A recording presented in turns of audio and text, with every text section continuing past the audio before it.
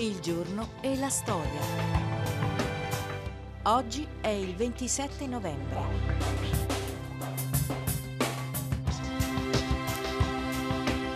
«1962.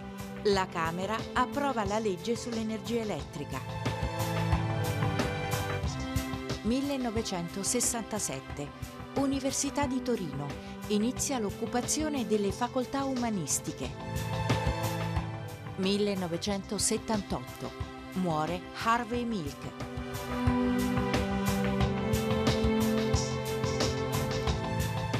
Commenta il fatto del giorno Maurizio Molinari, direttore de La Repubblica.